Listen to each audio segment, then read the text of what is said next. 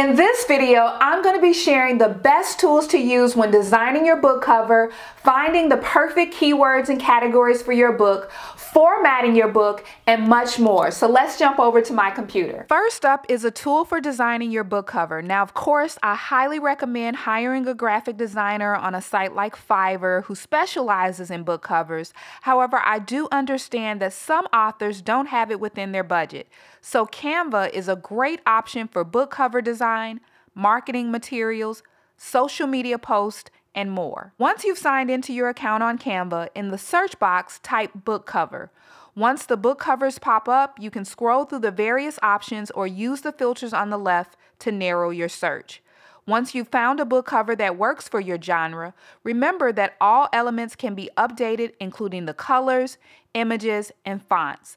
This way, you don't have to worry that your cover looks like another book using the same template. Next up is Kindle Spy, which is a tool for finding the best keywords and categories for your book. You can reverse engineer the bestseller categories, see how many books you need to sell in 24 hours to rank number one, which I feel is super powerful for newly launching a book. But you can also discover the popular trends and keywords in any book category and so much more. Once you've purchased KD Spy and have it downloaded to your Chrome browser, you can begin your research.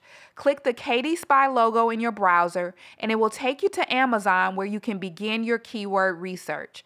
Choose a keyword that you believe your book could rank for and hit the KD Spy logo in your browser once more to learn the popularity, potential, and competition of the keyword. Next up is Kindle Create. Now this is a tool provided by Amazon to help you to format interior of your book. I know that a lot of you struggle with formatting your book, so this tool is invaluable as it's free and very easy to use. So once you have Kindle Create downloaded to your computer, you will click Create New, then Choose, Choose Reflowable if you're publishing a fiction or nonfiction book, then click Choose File in the lower right and select the manuscript that you're publishing. It will take you to this screen where you can begin the formatting for your book.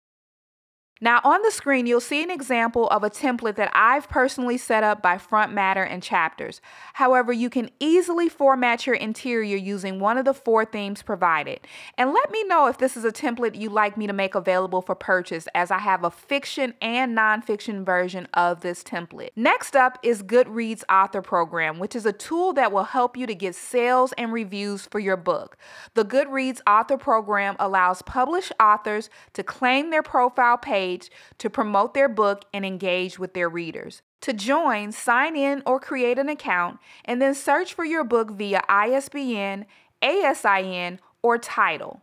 On the book, click on your author name, scroll to the bottom of your author profile page, click Is This You? Let us know, to complete and submit the application. So I hope you found the tools provided in this week's video to be valuable. Make sure you check out my previous video where I share the pros and cons of publishing a book to Amazon. And then also check out my next video where I share a step-by-step -step guide on how to publish your book on Amazon.